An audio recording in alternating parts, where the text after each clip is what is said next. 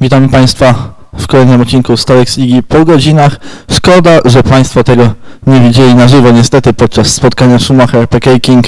Nowy szpital, jeden z zawodników Schumachera trafił w modem od internetu, nie mieliśmy internetu. Zapraszamy do oglądania retransmisji wspaniałych spotkań półfinałowych. No i teraz te spotkania właśnie omówimy.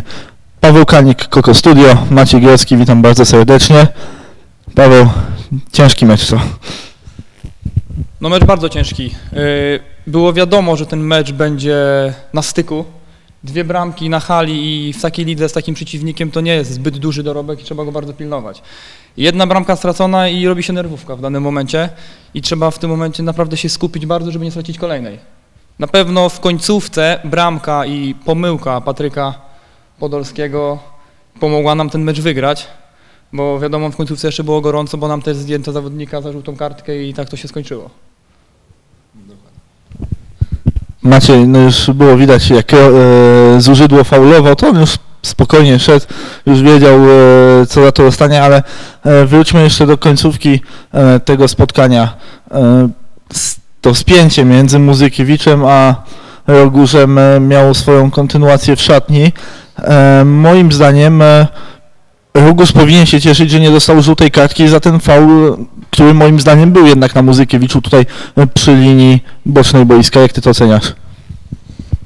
Znaczy tak, jedna kartka, którą e, Tomek Rogusz otrzymał, też uważam, że dosyć słuszna. E, Były pretensje. Myślę, że jednak tutaj Kuba Bzdawka dobrze wykazał się, że tą, ten kartonik pokazał. Jeżeli chodzi o, o samą końcówkę, e, moim zdaniem były nawet dwa faule, które mogły spokojnie tutaj kandydować do ukarania tymi dwoma minutami.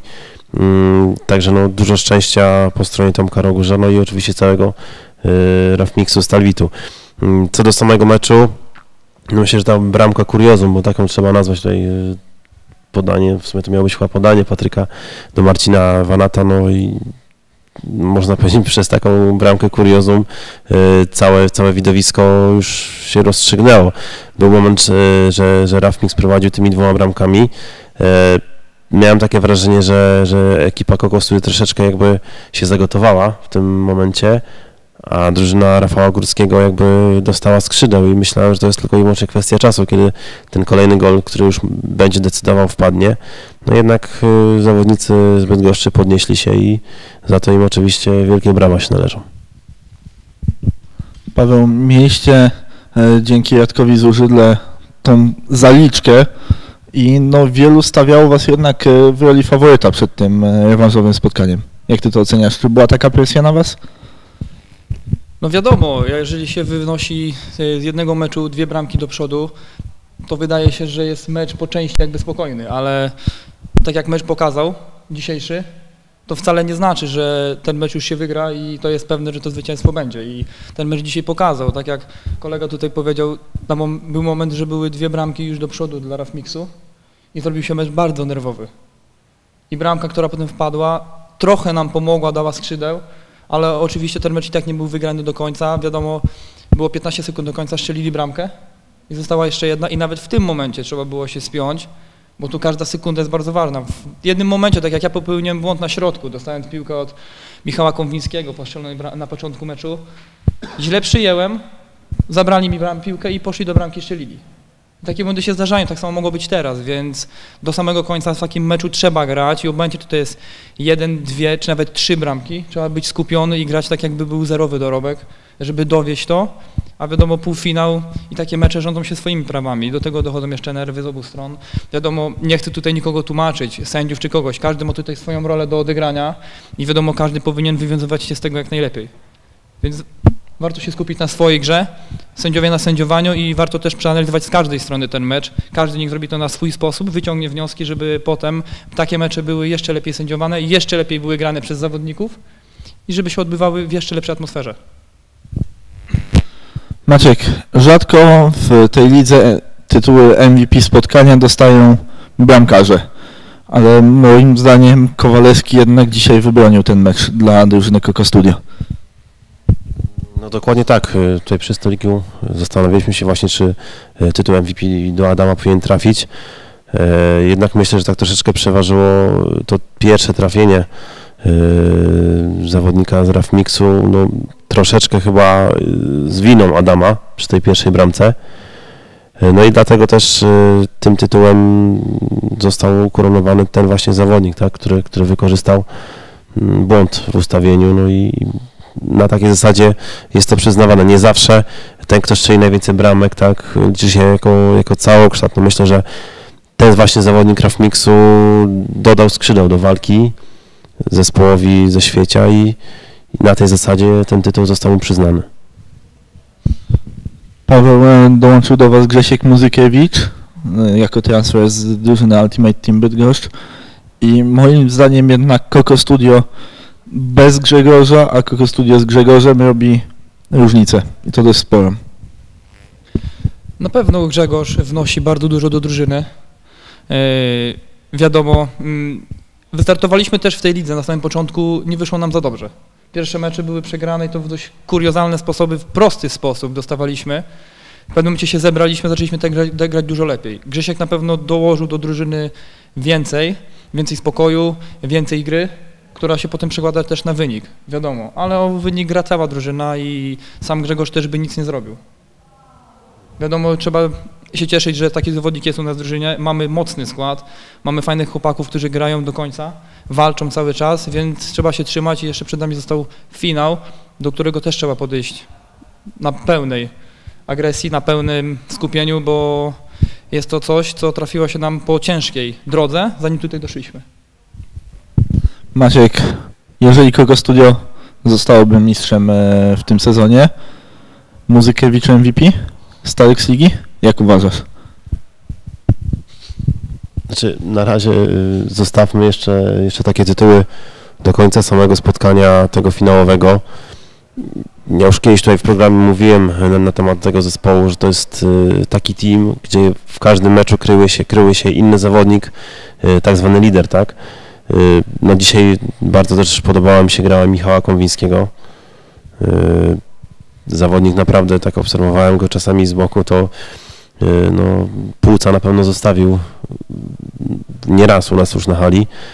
Dzisiaj myślę, że przeszedł sam siebie i naprawdę to było jedno chyba z jego najlepszych spotkań w całej tutaj, w całym sezonie. Co jeszcze tutaj warto, warto powiedzieć o, o zawodnikach Coco Studio. Y, W tym roku, czyli w roku 2014, y, myślę, że grają na pewno lepiej, tak jak już prędzej właśnie powiedziałeś, niż, niż w tym, tej pierwszej fazie yy, Stalex Ligi. Mm, Nie wiem, czym jest to spowodowane, czy, czy po prostu dłużej wchodzicie yy, w ten sezon halowy, bo trzeba oczywiście się przestawić, to jest inna specyfika niż gra na trawie. Yy, Też może w ostatnim czasie na Waszą dyspozycję mogła mieć wpływ yy, wizyta w Barcelonie, tak? Gdzie, gdzie byliście w nagrodę za, za wygranie za wygranie tutaj e, rozgrywek na Orlikach. E, Jak koledzy może wspominali tutaj pobyt, co im się najbardziej podobało? Co im się najbardziej podobało? Na pewno chłopaki przez 4 dni zadowoleni byli z samego wyjazdu, dużo zwiedzili i oczywiście też nocna część Barcelony, która bardzo kusi każdego, byli też mocno z tego zadowoleni. Wiadomo, przyjechali zrelaksowani, zadowoleni. Pewnie to też wpłynęło, może na samą grę. Byli jeszcze na meczu Barcelony, zobaczyli ludzi, którzy, których zawsze widać w telewizji, których się podziwia, e, Leon, Leon Messiego, Iniestę, Xaviego. Może to też wpłynęło na to, jak tam byli. O to, to trzeba spytać chłopaków, bo oni byli w Barcelonie, ale byli naprawdę bardzo zadowoleni i ten entuzjazm było widać dzisiaj, jak jechaliśmy, opowiadali o tym, więc to też się pewnie przełożyło na koncentrację i na spokój na meczu. Czas e, na galę finałową i tutaj e, spotkają się tak naprawdę drużyna zawodowa z amatorską, jeżeli chodzi o rozgrywki e, na hali, no bo nie oszukujmy się, Toruń trenuje codziennie, gra w rozgrywkach pierwszej ligi futsalu, są to zawodnicy zgrani. Wy może, może, no oczywiście gracie tutaj na serio, ale też możecie traktować to jako zabawę tak naprawdę, a nie jako sposób e, na utrzymanie, tak jak traktuje to e, drużyna toruńska. Czy, no jak, jak oceniasz drużynę Eurodroby po dzisiejszym e, spotkaniu? Dzisiejsze spotkanie i ostatnie spotkanie pokazało na pewno to, że mamy szansę ten mecz wygrać, ale wiadomo jest to drużyna, która gra na hali, jest to drużyna, która już od wielu lat to robi i na pewno robi to e, z sukcesem, wiadomo, więc tutaj każdy błąd może być wykorzystany na naszą niekorzyść, więc na pewno trzeba się bardzo mocno skupić i dołożyć jeszcze więcej niż w poprzednich meczach, które graliśmy. Ale na pewno napawa to też optymizmem, bo mecze poprzednie pokazały, że jesteśmy w stanie tutaj coś ugrać i ten finał wygrać, a jak będzie, to się okaże. No właśnie Maciek, e, Eurodu, mimo właśnie tego zgrania, widać u nich to zgranie, jak ta piłka chodzi między nimi, jak wymieniają e, się podaniami, ale czasem właśnie mam takie wrażenie, że próbują trochę zrobić jak Barcelona, wejść z tą piłką wręcz do bramki. I tutaj jest chyba największy problem drużyny toruńskiej, że nie oddają tych strzałów z dystansu, że nie próbują czym innym zaskoczyć, tylko cały czas mozolnie konstruują akcje. Jeżeli mielibyśmy statystyki posiadania piłki, no to chyba w każdym spotkaniu byłoby to na korzyść drużyny toruńskiej. Może zostając tutaj przy wątku Barcelony, e, widać, że takie właśnie gra, jak y, jest ustalone s- całe, całe spotkanie zespołu z Eurodrobiu, przynosi korzyść, tak? Granie przez ten środek, w- tak mówiąc e, prosto, klepanie tej piłki e, na, na pewno no, pokazuje, że efekty są, tak? Cały sezon też pokazał, że nie jest to zespół, który jest nie do pokonania. Z tego co pamiętam, na pewno zespół Unisławia y, był lepszy, y, Raf Mix dokładnie, także no można też powiedzieć teraz czas na drużynę Coco Studio. Y, Szczerze powiem, że nie stawiałem na, tą drużynę y, prędzej, nawet y, tutaj w rozmowie z Tomkiem Kellerem y, mówiliśmy, że będzie ciężko tej drużynie do pierwszej czwórki się dostać, żeby być tą ekipą rozstawioną, ale jak y, pokazuje sport, no nie zawsze przewidywania idą w parze z wynikami. Paweł, rok temu jedną bramką przegraliście, w tym roku jedną bramką wygraliście. Jeżeli e, spojrzysz na te dwa sezony, to chyba jednak e, uznasz, że ten sezon, e, te półfinały były również bardzo zacięte, ale lepsze w waszym wykonaniu. Znaczy, akurat y, może nie do końca do mnie to pytanie powinno być skierowane, ponieważ jak w zeszłym roku tutaj nie grałem i nie śledziłem Stalex Ligi, ja dopiero teraz do chłopaków dołączyłem, więc nie wiem jak wyglądało to w zeszłej rundzie, więc y, nie jestem w stanie się na ten temat wypowiedzieć. Jak ty to oceniasz, e, Maciek? No ty, e, ty, ty to pamiętasz na pewno, e, te spotkania półfinały. Przepraszam, pomyliłem ciebie z Radkiem. To pomyliłem ciebie z Radkiem. Radek, gra, Radek grał rok temu. Maciek, jak oceniasz? Znaczy na pewno trzeba zacząć od tego, że poziom w tym sezonie jest moim zdaniem zdecydowanie wyższy niż w szóstej edycji. Zespołów aspirujących do gry w tej pierwszej czwórce myślę, że co najmniej 8 można wymienić tak jednym tchem. E, Może tutaj przy naszym gościu się zatrzymajmy, czyli przy jego drużynie.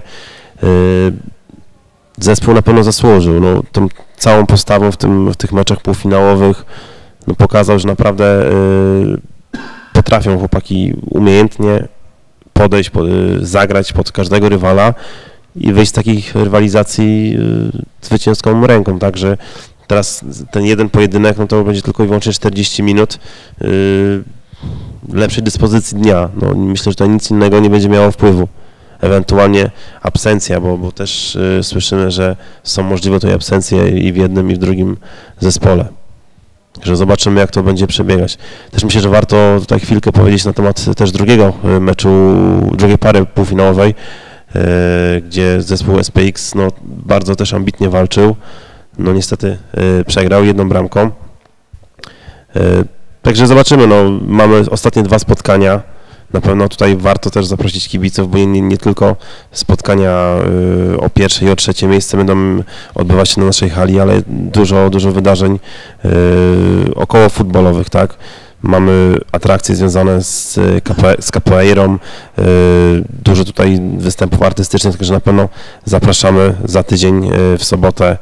Wygospodarujcie sobie dobre 3 godziny czasu i na pewno tego nie pożałujecie. Wracając jeszcze do tych e, absencji. SPX e, już mówią, że tam są zakazy e, klubowe. Rafmix również ma z tym problemem. Jakie są u Was? Są jakiekolwiek przeciwwskazania do gry w tej gali finałowej przez trenerów klubowych zawodników, którzy grają na trawie? Akurat u nas w drużynie tak się złożyło teraz, że nie ma zawodników, którzy grają gdzieś w jakichś drużynach. Yy, SPX na pewno stracił na tym bardzo dużo. Dzisiaj było to widać, bo było ich tylko trzech na zmianę. To pewnie też wpłynęło.